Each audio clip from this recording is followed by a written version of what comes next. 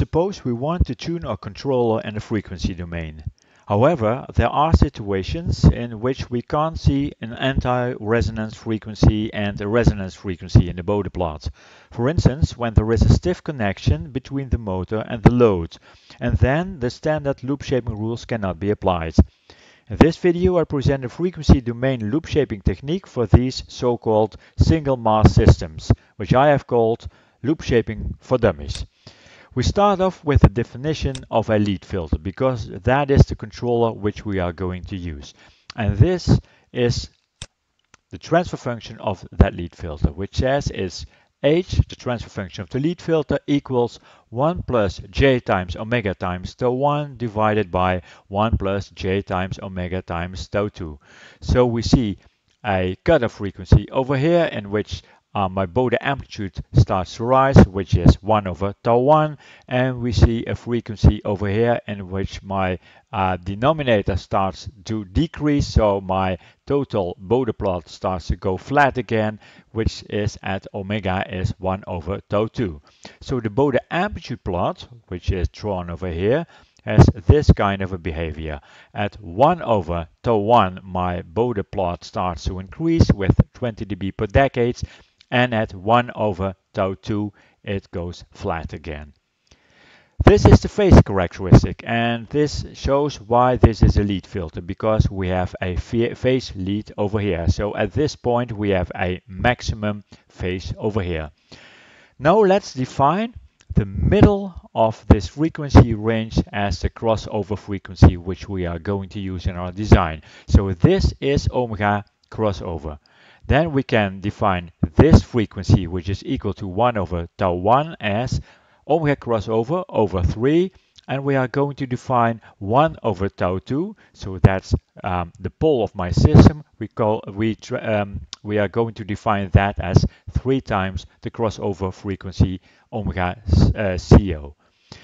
What we also see is that the phase has a maximum value and that maximum value exactly occurs at this frequency, the crossover frequency. Well, we can uh, calculate that and we are doing that as follows. We are going to define um, the definition for the phase and the phase is the argument of the function so the phase is equal to the argument of the numerator minus the argument of the denominator which is equal to let's take um, the transfer function back again, so which is equal to the following, the arctangent of the numerator minus the arctangent of the denominator. So it's the arctangent of the imaginary part of the numerator, omega times tau 1, divided over 1 minus the arctangent of the imaginary part of the denominator, which is omega times tau 2 divided over 1. So we get the arctangent of omega times tau 1 minus the arctangent of omega times tau 2.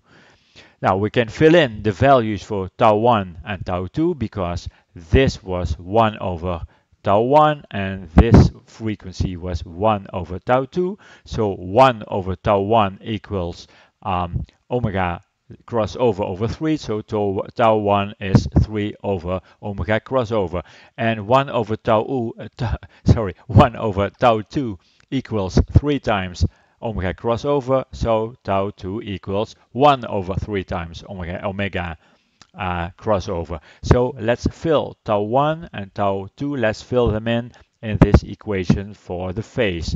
And then we get the phase is the arctangent of omega times tau 1, which is 3 over omega crossover, minus the arctangent of omega times tau 2, and tau 2 was 1 over 3 times omega times, uh, sorry, 3 times omega crossover.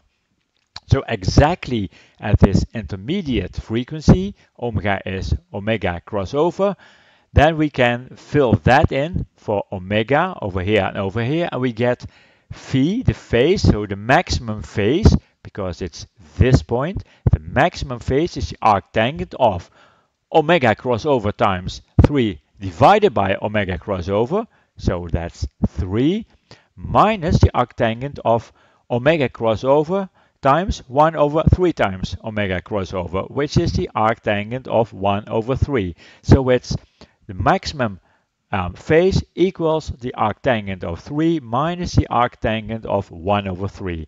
And when you calc calculate that, you see that that maximum phase is almost uh, 53 degrees. It's 53.1 degrees. And for design purposes, we say, well, that maximum phase is 55 degrees.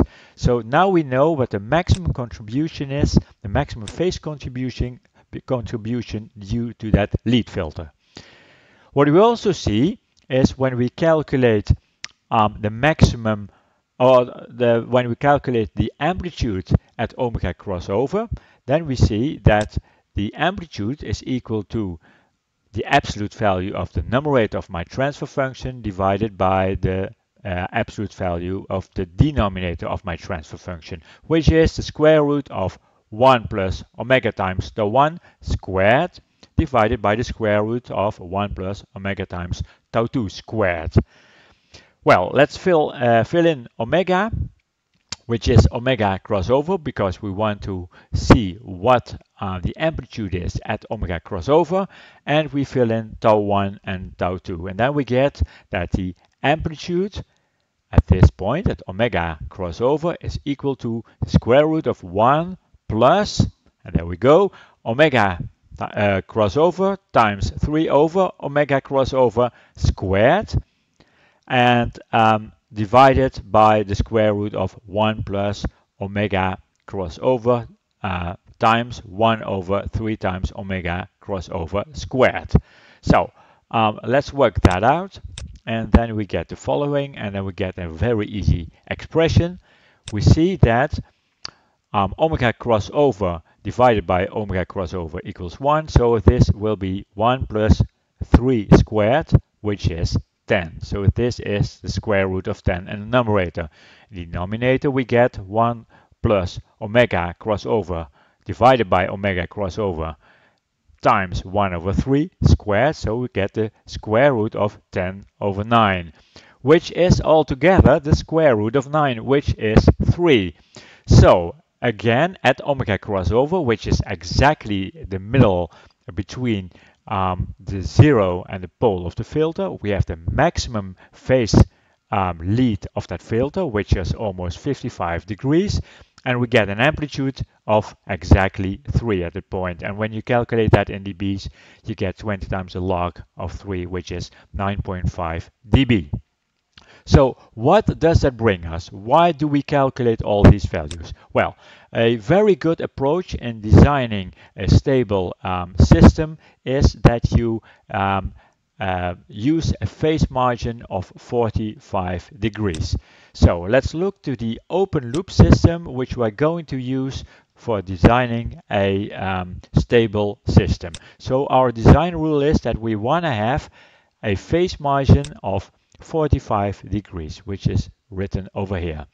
That means that in that case, the phase of my open loop system should be minus 180 plus the phase margin of 45 degrees, which equals minus 135 degrees. So I made a plot of a open loop system, which uh, in my example looks like this. So this is the amplitude plot, and this is my phase plot over here. And now suppose that we define the value and frequency, so the, the frequency at which the phase is minus 190 degrees as omega crossover.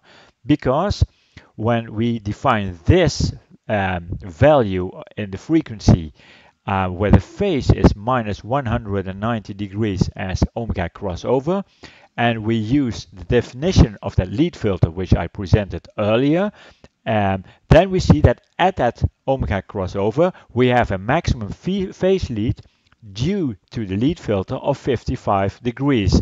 And in that case we have a phase of minus 190 plus 55 degrees, which is equal to minus 135 degrees, which was my design rule for having a phase margin of 45 degrees. So what we are going to do is we look to the phase plot of my open loop system. We see where the phase is minus 190 degrees and that corresponding frequency we call that omega crossover. and we call that omega crossover frequency, the middle frequency between the zero and the pole of my lead filter. So in that case, my phase margin of 45 degrees has been realized. Um, what we then can do is we have to um, increase the gain of my proportional part of my uh, my P filter with my lead filter. We can increase the proportional part in a way that this will become 0 dB. But keep in mind that due to the lead filter, we have an amplification of that lead filter, um, an amplification of 3 or 9.5 dBs due to that lead filter. So everything which is left then can be used for increasing the proportional part of my controller.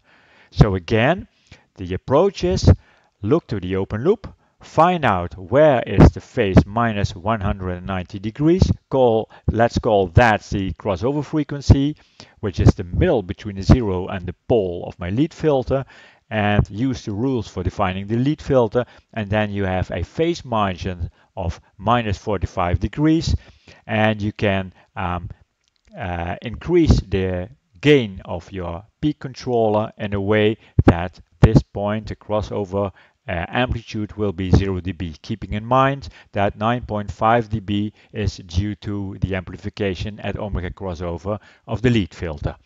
So then you have a stable system. What you should check then is whether the gain margin meets the requirement, which is often used as at least 6 dB, and check of course also if your sensitivity does not increase 6 dB or a factor of 2 because in that case you have a very um, yeah high kind of, a, of an overshoot in your uh, sensitivity plot which could not be, be very useful um, when you have for instance disturbances in that area and of course, last but not least, check your performance. And when you check your performance, um, check the performance of the total system also when feed-forwards are applied.